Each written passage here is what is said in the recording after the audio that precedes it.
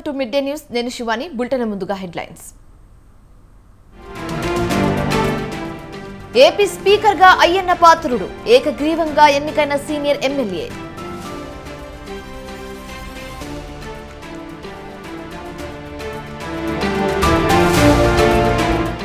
గత ప్రభుత్వ హయాంలో అసెంబ్లీలో దూషణలు ఉండేవి.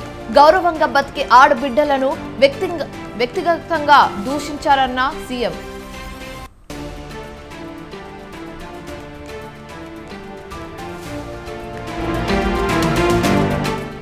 స్పీకర్ ఎన్నిక ప్రక్రియకు దూరంగా వైసీపీ పులివెందులకు వెళ్తున్న మాజీ సీఎం జగన్.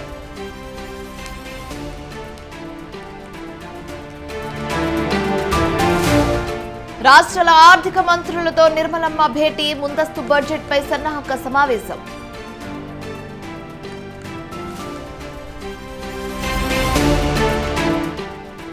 రేణుకస్వామి కేసులో బయటకొస్తున్న సంచలన విషయాలు హత్యకు ముందు కరెంట్ షాక్ ఇచ్చి చిత్రహింసలు.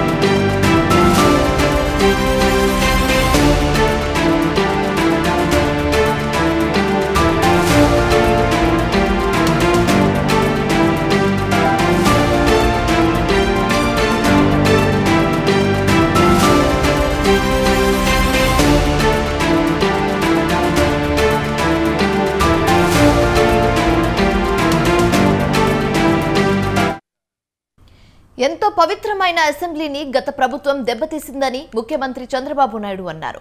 ఇరవై మూడు మంది గెలిచి అసెంబ్లీకి వస్తే చాలా ఇబ్బంది పెట్టారని గుర్తు చేశారు. తన కుటుంబం గురించి ఇష్టానుసారం మాట్లాడారని మైక్ ఇవ్వకుండా చేసి అవన అవమానం పరిచారని చెప్పారు. సీఎంగానే అసెంబ్లీకి వస్తానని ఆ రోజే గట్టిగా చెప్పానని కౌరవ సభకు రాను గౌరవ సభకి వస్తానని స్పష్టం చేశానని తెలిపారు. అయితే రాష్ట్రంలోని ఆడపడుచులను అవమానించాలని సీఎం చంద్రబాబు మండిపడ్డారు. ప్రజలు అంతా గమనించి తనను గౌరవ సభకు పంపారని తెలిపారు. ఆ రోజు ఒక్క విషయం మీరు చూస్తే నేను కూడా ఇదే హౌస్లో చాలా బాధపడిన సందర్భం రోజు ఉంది. మెంబర్స్ అందరం ఉన్నాం. నన్ను గురించి నా కుటుంబాన్ని గురించి ఇష్టానుసారంగా మాట్లాడితే కనీసం యాక్షన్ తీసుకోవడానికి నాకు మైక్ ఇవ్వమని అడిగాను. మేము నిరసన తెలియజేసి ఎడతామని మైక్ అడిగితే మైక్ ఇవ్వలేదు. ఇవ్వకుండా మీరు చూస్తే మామూలు సంఘటన కాదు. ఆ రోజు నేను ఒక మాట చెప్పాను. ఇది గౌరవ సభ కాదు. మీరు నాకు మైక్ కూడా ఇవ్వడం లేదు. మైక్ ఇవ్వకపోయినా నేను స్టేట్మెంట్ ఇవ్వాలి కాబట్టి ఇచ్చేడతాను రికార్డు కోసం అని చెప్పి గట్టిగా లేచి ఇదే సీట్లో కూర్చొని ఆ రోజు నేను చెప్పింది ముఖ్యమంత్రిగానే ఈ హౌస్కు వస్తాను తప్ప అదర్వైజ్ రాజకీయాలు అవసరం లేదు. ఇది ఒక గౌరవ సభ. గౌరవ సభ కాదు. ఇలాంటి గౌరవ సభలో నేనుండనని మరొక్కసారి చెప్తూ మీకు నమస్కారం. ప్రజలకు విజ్ఞప్తి చేస్తున్న నా అవమానం మీరు అందరూ అర్థం చేసుకొని నిండు మనసుతో ఆశీర్వదించాలని కోరుతూ ఈ సభ నుంచి వాకౌట్ చేస్తున్నానని చెప్పి వాకౌట్ చేసి బయట ప్రెస్ కాన్ఫరెన్స్ పెట్టాను. ఆ రోజు ఒక్క విషయం మీరు చూస్తే నేను కూడా ఇదే హౌస్లో చాలా బాధపడిన సందర్భం రోజు ఉంది. మెంబర్స్ అందరం ఉన్నాం.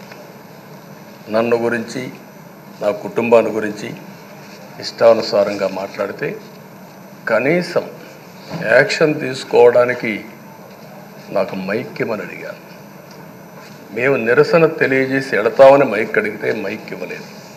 ఇవ్వకుండా మీరు చూస్తే మామూలు సంఘటన కాదు. ఆ రోజు నేను ఒక మాట చెప్పాను. ఇది గౌరవ సభ కాదు. మీరు నాకు మైక్ కూడా ఇవ్వడం లేదు. మైక్ ఇవ్వకపోయినా గడిచిన ఐదు సంవత్సరాలు. శాసనసభ అంటే చాలా భిన్నంగా నడిచింది. ఎంతో పవిత్రమైన శాసనసభను గత ప్రభుత్వం ఒక వికృతమైన పోకడలు నీచ రాజకీయాలు వ్యక్తిత్వ హననానికి ఒక వేదికగా చేశారు. ఇదే అసెంబ్లీలో దూషణలు బూతులు విక్కరింతలు కక్ష సాధింపులు మైకు లేకుండా పోవడం ఒకటి కాదు చాలా సమస్యలు వచ్చాయి. అదే సమయంలో ఫస్ట్ టైం వచ్చిన ఎమ్మెల్యే బాధ్యతారహిత్యంగా ఆరేడు సార్లు గెలిచిన ఎమ్మెల్యేని విక్కరించడం బూతులు తిట్టడం చాలా వల్గర్గా ప్రవర్తించే పరిస్థితికి వచ్చారు. ఆ రోజు ప్రభుత్వం యొక్క వైఫల్యాల్ని క్వశ్చన్ చేస్తే వాళ్ళపైన సభలోనే దాడి చేయడం నీచంగా మాట్లాడడం వాళ్ళ మనోభావాలు దెబ్బతీయడం ఇవన్నీ చేసే పరిస్థితికి వచ్చారు. గడిచిన ఐదు సంవత్సరాలు. శాసనసభ అంటే చాలా భిన్నంగా నడిచింది. ఎంతో పవిత్రమైన శాసనసభను గత ప్రభుత్వం ఒక వికృతమైన పోకడలు నీచ రాజకీయాలు వ్యక్తిత్వ హననానికి ఒక వేదికగా చేశారు. ఇదే అసెంబ్లీలో దూషణలు బూతులు విక్కరింతలు కక్ష సాధింపులు మైకు లేకుండా పోవడం ఏపీ శాసనసభపతిగా సీనియర్ ఎమ్మెల్యే చింతకాయల అయ్యన్న పాత్రుడు ఏకగ్రీవంగా ఎన్నికయ్యారు. అయ్యన్న ఎన్నికను ప్రొటెం స్పీకర్ గోరెంట్ల బుచ్చయ్య చౌదరి సభలో అధికారికంగా ప్రకటించారు. అనంతరం ఆయనను ముఖ్యమంత్రి చంద్రబాబు నాయుడు అలాగే deputy CM Pawan Kalyan speaker స్థానంలో కూర్చోబెట్టారు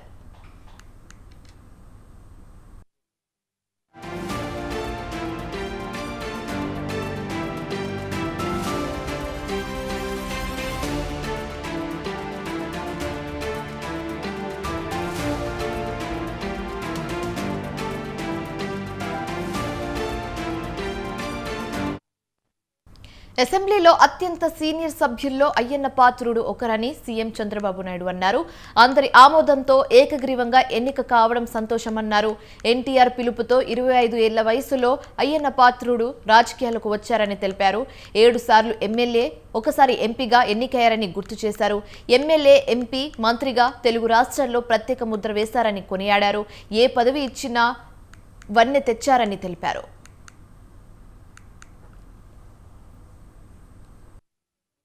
రాజకీయాల్లోకి రావాలని ఆ రోజు ఎన్టీ రామారావు గారు పార్టీ పెట్టిన మొదట్లో పిలిపిస్తే ఇరవై ఐదు సంవత్సరాల వయసుండే సమయంలో రాజకీయాల్లోకి వచ్చిన వ్యక్తి అయ్యన్న పాత్రుడు గారు.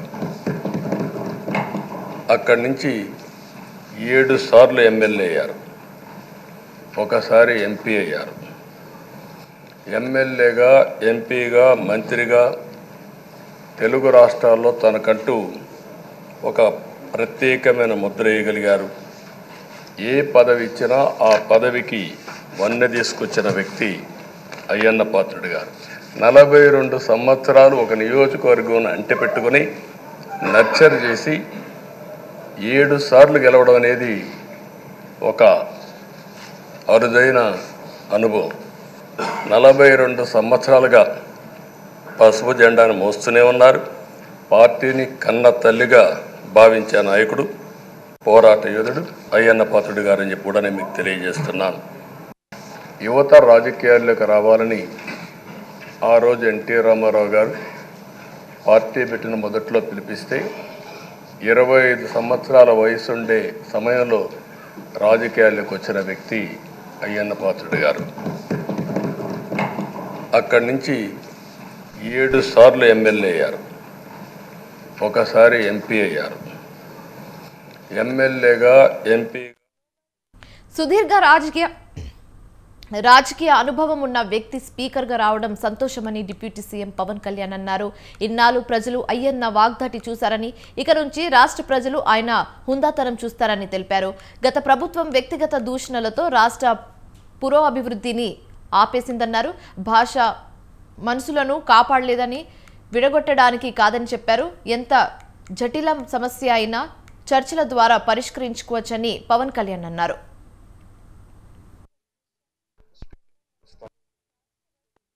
చాలా ఆనందంగా ఉంది. రాజకీయ జీవ పదహారవ శాసనసభకి ఏకగ్రీవంగా ఎన్నికైన సభాపతి శ్రీ చింతకాల అయ్యన్ పాత్ర గారికి హృదయపూర్వక నమస్కారాలు. మీకు శుభాకాంక్షలు. ఇలాంటి సుదీర్ఘ రాజకీయ అనుభవం ఉన్న దాదాపు ఏడు సార్లు ఎమ్మెల్యేగాను ఒకసారి పార్లమెంట్లో అడుగుపెట్టిన మీకు Panchayati Raj technical education forest R and అనేక మంత్రిత్వ శాఖల్ని సమర్థవంతంగా నిర్వహించిన మీకు స్పీకర్ స్థానంలో కూర్చోవడం చాలా ఆనందంగా ఉంది. రాజకీయ జీవనంలో ఎన్ని దశాబ్దాలు ప్రజలు మీ వాడి వేడి చూశారు? మీకు కోపం వస్తే ఋషికొండను చెక్కినట్టు ప్రత్యర్థులకి పదునైన ఉత్తరాంధ్ర యాసలో గుండు కొట్టేస్తారు. ఒకటే బాధేస్తా ఉంది సార్.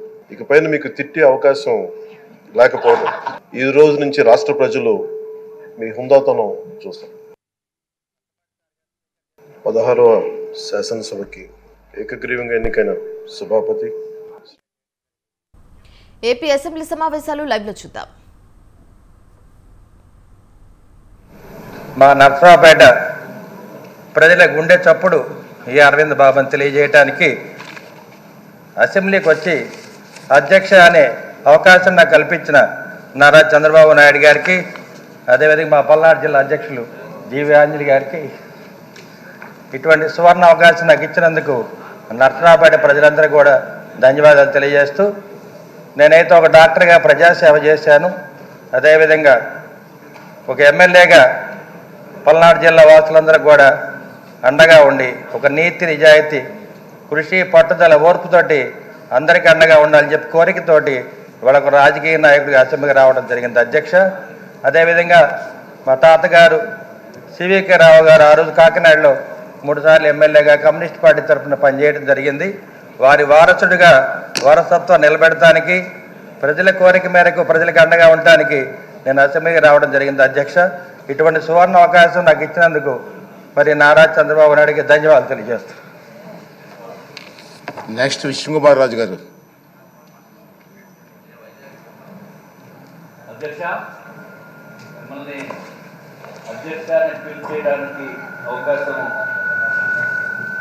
ఇచ్చిన మా నార్త్ నియోజకవర్గ ప్రజలకి అట్లాగే భారతీయ జనతా పార్టీ అగ్ర నాయకత్వానికి రాష్ట్ర నాయకత్వానికి గౌరవనీయులైన చంద్రబాబు నాయుడు గారికి తెలుగుదేశం పార్టీకి పవన్ కళ్యాణ్ గారికి జనసేన పార్టీ నాయకులకి అందరికీ కూడా ముందుగా నా యొక్క హృదయపూర్వకమైన ధన్యవాదములు నమస్కారములు తెలియజేసుకుంటున్నాను అధ్యక్ష. అధ్యక్ష నేను ఏదైతే మాట్లాడదాం అనుకున్నానో మిగిలిన సభ్యులందరూ అదే మాట్లాడిస్తారు అధ్యక్ష. ఇక నా మాట్లాడటానికి పెద్దగా లేదు.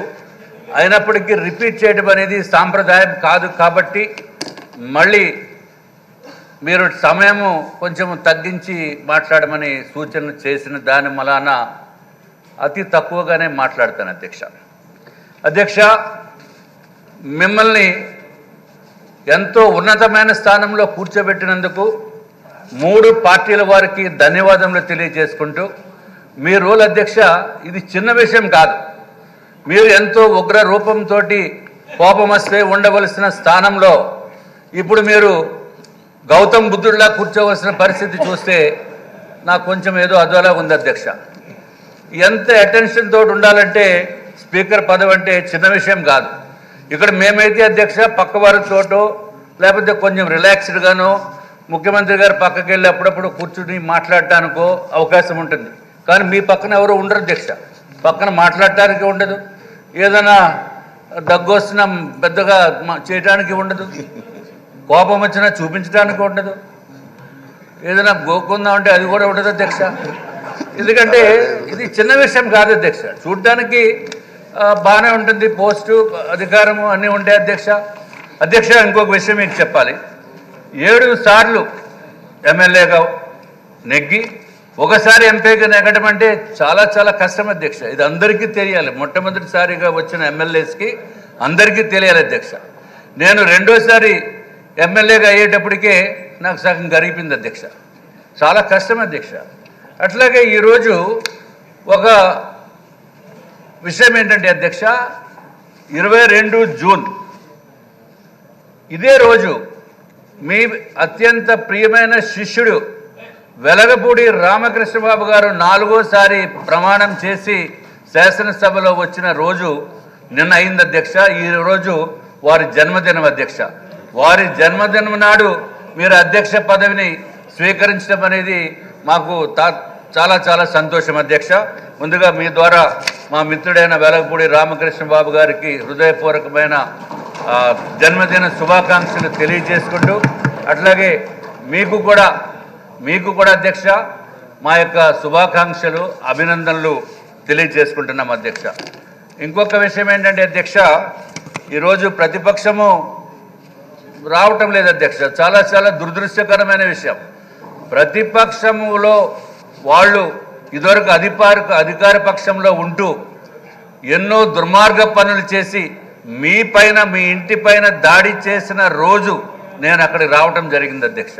మీ దాడి చేసిన మీ ఇంటి పైన చిన్న విషయానికి పెద్ద ఇష్యూ చేసేసి వందలాది మంది పోలీసులు పెట్టి మీ ఇంటి పైన దాడి చేసి మిమ్మల్ని ఎంతో మానసికంగా మీ కుటుంబ సభ్యుల్ని కూడా మానసికంగా హింసించి రకరకాల ఇబ్బందులు పెట్టి ఎన్నో కేసులు మీ పైన పెట్టి ఎంతో దుర్మార్గపు పనులు చేసిన వైఎస్ఆర్సీపీ పార్టీ ఈరోజు సభకు కూడా రానటువంటి పరిస్థితి చూస్తూ ఉంటే అంటే మిమ్మల్ని చూస్తేనే భయంతో ఈ ఒక్కరోజు రావటం మానేశారా? లేకపోతే ఇంకా రానున్న కాలంలో ఐదు సంవత్సరాలు కూడా వారు రావటం మానేస్తారా అనేది నాకైతే అనుమానం ఉంది అధ్యక్ష. కానీ మనం ఎంతో హుందాతోటి హుందాతనంతో నిన్న గౌరవ ముఖ్యమంత్రి గారి సూచనల ప్రకారము వారు జగన్మోహన్ రెడ్డి గారు వెహికల్ కూడా లోపలికి తీసుకుని వచ్చిన తర్వాత జగన్మోహన్ రెడ్డి గారు ఇక్కడ వచ్చి వారు కూర్చున్న తర్వాత నేను కూడా వారి దగ్గరికి వెళ్ళి కరచాలనం చేసి వారికి అభినందనలు తెలియజేసిన సందర్భం జరిగింది అధ్యక్ష. అంటే ప్రతిపక్షంలో ఉన్న వారికి కూడా కూటమి ఎన్డీఏ కూటమి తప్పనిసరిగా అత్యంత గౌరవం ఇస్తుంది అని చెప్పి చెప్పడానికి రెండు ఒక ఉదాహరణలు అధ్యక్ష. అధ్యక్ష తమరు కూడా రానున్న కాలంలో వాళ్ళు వస్తే మంచిది రాకపోతే మరి ప్రతిపక్షం లేనటువంటి పరిస్థితుల్లో సభ చప్పగా ఉండకూడదు కాబట్టి కొంచెం ఏదైనా అవకాశం ఉంటే నాకు కొంచెం ఎక్కువ అవకాశం ఇవ్వండి అధ్యక్ష మాట్లాడేదానికి. చూస్తే అన్ని సమస్యలు మనం మాట్లాడుకుందాము.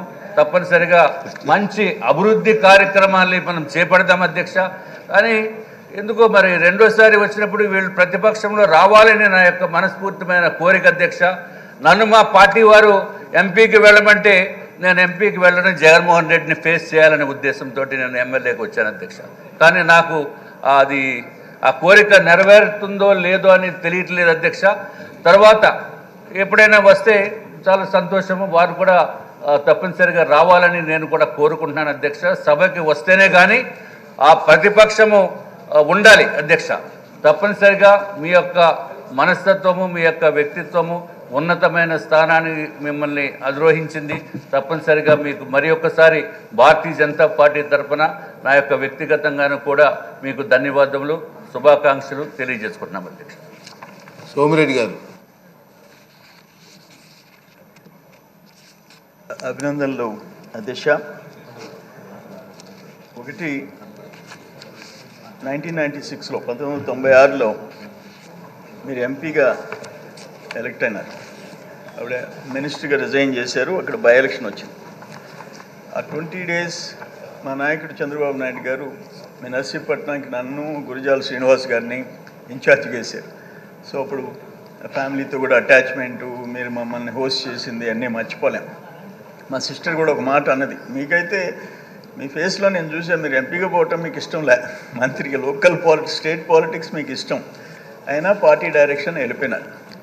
అప్పుడు మా సిస్టర్ కూడా ఒక మాట అన్నది మీరు తొందరలో మంత్రి అవుతారన్నా అన్నది. జస్ట్ నెక్స్ట్ మంత్లోనే మంత్రి అయినా. అటువంటి అటాచ్మెంట్ మీ పేరులోనే అయ్యన్నలోనే అన్న ఉంది. ఇంకోటి ఏంటంటే మీరు కావడం మాకు సంతోషం కానీ ఇంకోటి డిసప్పాయింట్మెంట్ కూడా ఉంది. మీరు ఇక్కడ కూర్చోవటం వాళ్ళు పారిపోవటం వాళ్ళు ముఖాలు చూడాలని మాకు ఎంతో కోరిక ఉన్నది శాసనసభలో. ఈరోజు అడ్రస్ లేకుండా పారిపోయే పరిస్థితి మనం చూస్తున్నాం. అయితే ఇక్కడ ఒకటి ఫైర్ బ్రాండ్ ఈ సభలో స్పీకర్గా. Political super star Chandrababu Naidu garu సభానాయకుడిగా. Power star Pawan Kalyan garu deputy సీఎంగా. బహుశా ఇది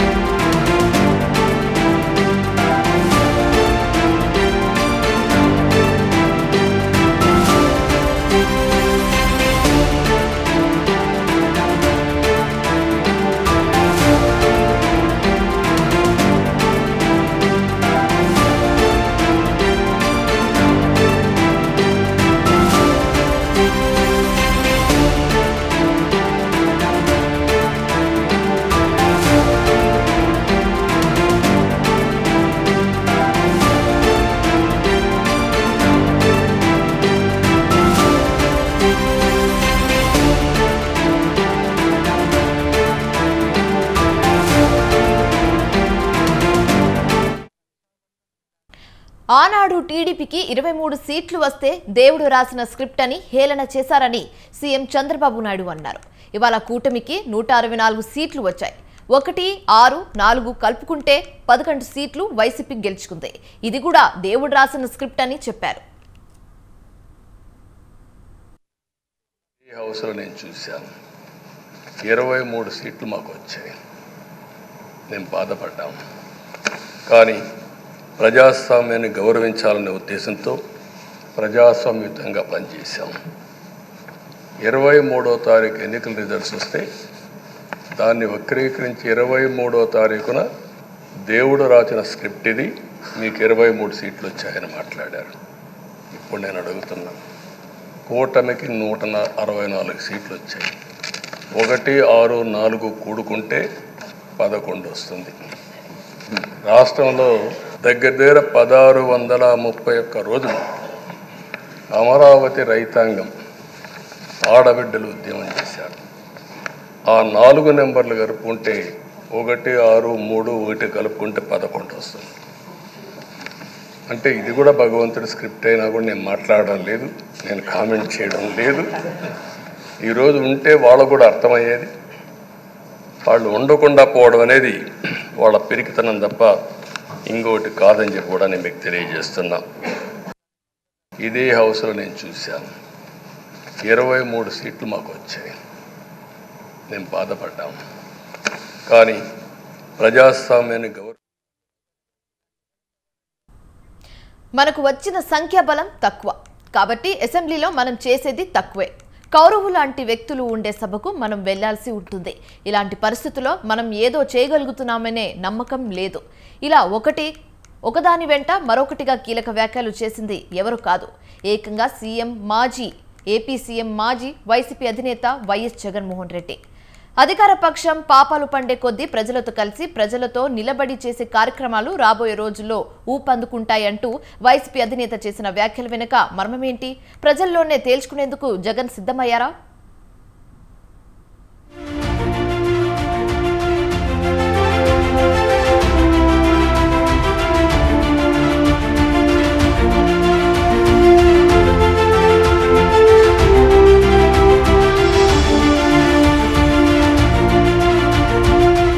సార్వత్రిక ఎన్నికల అనంతరం తొలిసారిగా జరిగిన పార్టీ విస్తృత స్థాయి సమావేశంలో కీలక వ్యాఖ్యలు చేశారు మాజీ సీఎం వైసీపీ అధినేత వైఎస్ జగన్. రాష్ట్రంలో ప్రతి కుటుంబానికి ప్రతి గడపకు మనం చేసిన మంచేమిటో తెలుసన్న ఆయన వైసీపీ అందించిన పాలనను ప్రజలు ఎవరూ మరిచిపోరన్నారు. రెండు వేల ఇరవై తొమ్మిది నాటికి చంద్రబాబు మోసాలు ప్రలోభాలు గుర్తించి రెట్టించిన ఉత్సాహంతో మళ్ళీ ప్రజలు వైసీపీని అధికారంలోకి తెచ్చుకుంటారని నేతలతో వ్యాఖ్యానించారు. ఎప్పుడు చూడని పాలన ఈ మాదిరిగా ఇచ్చిన తర్వాత. మరి ఎందుకు ఈ మాదిరిగా రిజల్ట్స్ వచ్చాయి? కనీసం ఇవేవి చేయకపోయినన్నా చేయకపోయినంటే సరేలే ఇవన్నీ చేయలేదు కాబట్టి ప్రతిపక్షంలో కూర్చుంటున్నాము అనే దానికి అర్థం ఉండేది. ఇంత బాధ కూడా ఉండేది కాదు. కానీ ఇన్ని చేసిన తర్వాత ఎప్పుడు చూడని మార్పులు తీసుకొచ్చిన తర్వాత ఇటువంటి రిజల్ట్ చూసినప్పుడు నిజంగా బాధ అనిపిస్తుంది. ఇంత జరిగిన తర్వాత కూడా ఏకంగా నలభై శాతం ఓటు షేర్తో ఈరోజు ప్రతిపక్షంలో ఉన్నాం. ఇంత జరిగిన పిమ్మట కూడా. ఈ రోజుకి కూడా మనం చేసిన మంచి ఎక్కడికి పోలేదు. మనం చేసిన మంచి ఈ రోజుకి కూడా ప్రతి గడపలోనూ కనిపిస్తుంది. ప్రతి కుటుంబానికి తెలుసు. ఇంతకు ముందు గతంలో ఎప్పుడు జరగని విధంగా నా కుటుంబానికి నా ఇంటికి మంచి జరిగింది. అది వైఎస్ఆర్సీపీ పాలనలోనే జరిగింది అన్నది ప్రతి ఇంటికి తెలుసు. ఆ చేసిన ఆ మంచి ఎక్కడికి పోలేదు. మొన్నటి ఎన్నికల్లో వైసీపీకి నలభై శాతం ఓట్లు పోలయ్యాయన్న విషయాన్ని మర్చిపోవద్దంటూ నేతలకు హితోపదేశం చేశారు జగన్. రెండు వేల పంతొమ్మిదిలో వచ్చిన ఓట్ల కంటే ప్రస్తుతం వచ్చింది కేవలం పది శాతం మాత్రమే తక్కువని చెప్పుకొచ్చారు. అబద్దాలు చెప్పడం మోసం చేయడం న్యాయం కాదన్న విషయాన్నే తానెప్పుడూ చెబుతానని రెండు వేల పద్నాలుగు రెండు వేల పంతొమ్మిదిలో అదే నిజమైందని అన్నారు. కాలం గడిస్తున్న కొద్దీ చంద్రబాబు ప్రభుత్వ వైఫల్యాలు బయటకొస్తాయంటూ నేతలకు వివరించారు జగన్. ఈరోజు ప్రతిపక్షంలో ఉన్నా కూడా నేను చెప్తా ఉన్నాను గర్వంగా కూడా చెప్తా ఉన్నాను ఈ రోజుకి కూడా జగన్ అబద్ధాలు ఆడడు. జగన్ మోసం చేయడు. మళ్ళీ చంద్రబాబు చెప్పిన మాదిరిగానే అంతకన్నా ఎక్కువ అబద్ధాలు మనం చెప్పుంటే బాగుండేదేమో ఆ పది పర్సెంట్ మనతోనే నిలిచి ఉండేవాళ్ళేమో అలా చేసి ఉంటే బాగుండేదేమో అని చెప్పి కూడా చాలా మందికి కూడా. మరీ జగన్ ముక్కుసూటి మనిషి మరీ జగన్ రాజకీయాలలో మరీ నిజాయితీగా ఉంటాడు. ఇంత నిజాయితీగా ఉండడం కరెక్ట్ కాదేమో అని. కానీ ఒకటే చెప్తా ఉన్నా ఓడిపోయిన పర్వాలా? అధికారం కోసం అబద్ధాలు చెప్పడం అధికారం కోసం మోసం చేయడం ధర్మం కాదనే న్యాయం కాదనే జగన్ ఎప్పుడు నమ్ముతాడు. రెండు వేల పద్నాలుగులో కూడా ఇదే నమ్మాను. సాధ్యం కానిది సాధ్యం కాదు అని నేను చెప్పాను. చంద్రబాబు నాయుడు ఏమో వ్యవసాయ రుణాలు మాఫీ దగ్గర నుంచి అన్నీ కూడా చేస్తానని చెప్పి ఆ తర్వాత మళ్ళీ రెండు వేల పంతొమ్మిది వచ్చేసరికి చేయక ప్రజలు రెట్టించిన ఉత్సాహంతో మళ్ళీ మనల్ని తీసుకొచ్చారు. మళ్ళీ ఈరోజు కూడా అదే జరుగుతుంది. రెండు వేల ఇరవై తొమ్మిది వచ్చే నాటికి వచ్చేసరికి చంద్రబాబు నాయుడు చెయ్యని హామీలను మోసం చేసిన పరిస్థితులను ప్రజలు ఏ స్థాయిలో గుర్తుపెట్టుకుని మళ్ళీ మనల్ని ఆశీర్వదిస్తారు అని అంటే చంద్రబాబు నాయుడుకు సింగిల్ డిజిట్లలోనే నెంబర్స్ వచ్చే పరిస్థితి కూడా ఆ రోజు కూడా దూరంగా లేదు. ఈ సందర్భంగానే తన భవిష్యత్ కార్యాచరణపై జగన్ క్లారిటీ ఇచ్చారన్న కామెంట్లు వినిపిస్తున్నాయి. మనకొచ్చిన సంఖ్యాబలం తక్కువ. కాబట్టి అసెంబ్లీలో మనం చేసేది తక్కువేనని ఆయన చెప్పడం ఇందులో భాగమేనని అంటున్నారు.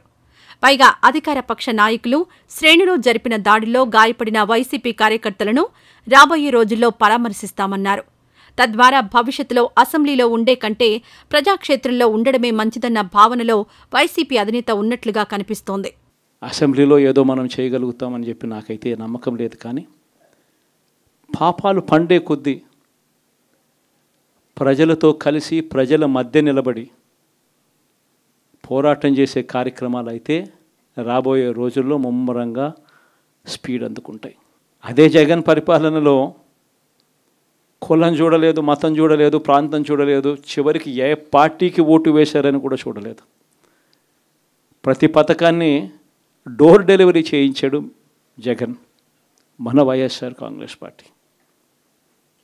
కానీ ఈరోజు కేవలం వాళ్ళ పార్టీకి ఓటు వేయలేదు అన్న ఒకే ఒక కారణంతో ఏకంగా మనుషులను కొడతా ఉన్నారంటే ఆస్తులను ధ్వంసం చేస్తూ ఉన్నారు అని అంటే ఓటు వేయని వారిని అవమానిస్తూ ఉన్నారు అని అంటే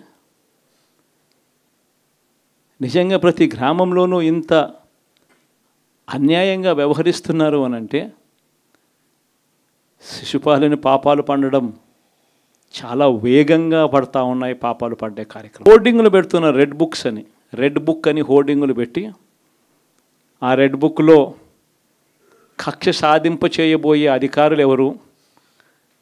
ఎవరిని కొట్టాలి ఎవరిని నాశనం చేయాలి అని చెప్పి ఏకంగా పేర్లు రాసి రెడ్ బుక్ అని చెప్పి దాన్ని ప్రకటించి ఏకంగా హోర్డింగులు పెట్టి ఆ రెడ్ బుక్ అనేది ఏదో ఘనకార్యం చేస్తూ ఉన్నట్టుగా ఆ రెడ్ బుక్స్లో ఉన్న పేర్లన్నింటినీ కూడా మేము వాళ్ళని కొడతాము వాళ్ళని చంపుతాము వాళ్ళ మీద అఘాయిత్యాలు చేస్తాము అన్యాయాలు చేస్తాము అని చెప్పి ఏకంగా నిస్సిగ్గుగా దౌర్జన్యం చేస్తూ ఉన్న పరిస్థితులు కనిపిస్తూ ఉన్నాయి. అటు వైసీపీ నేతలు సైతం ఇదే మాట చెబుతున్నారు. టీడీపీ దాడులకు భయపడేది లేదన్నారు మాజీ మంత్రి కొడాలి నాని.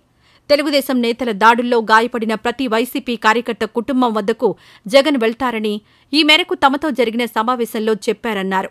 ప్రజల మధ్య ఉండి వారి సమస్యల కోసం పోరాడతామంటూ చెప్పుకొచ్చారు కొడాలి నాని. జగన్మోహన్ రెడ్డి గారు కొన్ని నిర్ణయాలు తీసుకుని మనకి కోటి ముప్పై మూడు లక్షల మంది ఓటు వేశారు.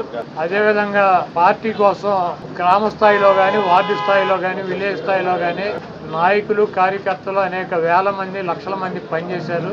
వాళ్ళందరినీ కూడా కాపాడుకోవాల్సినటువంటి బాధ్యత మందే. మీరు తప్పకుండా నియోజకవర్గాల్లో ఒక వారం రోజులు పర్యటన చేసి దాడులు జరిగినటువంటి మన నాయకుల మీద కానీ కార్యకర్తలను కానీ మీరు అండగా ఉండాలని అదేవిధంగా రాబోయే రోజుల్లో నేను కూడా గాయపడినటువంటి తెలుగుదేశం పార్టీ అల్లరి మోకలు చేసినటువంటి దాడుల్లో ఇబ్బంది పడినటువంటి ప్రతి కుటుంబానికి దగ్గరికి నేను వస్తాను.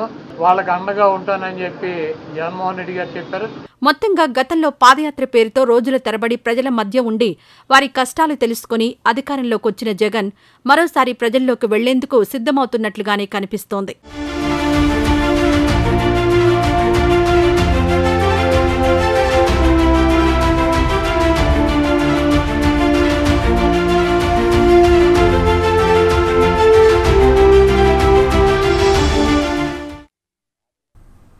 ఇవి ఇప్పటివరకు ఉన్న updates. For more updates keep watching Swatantra news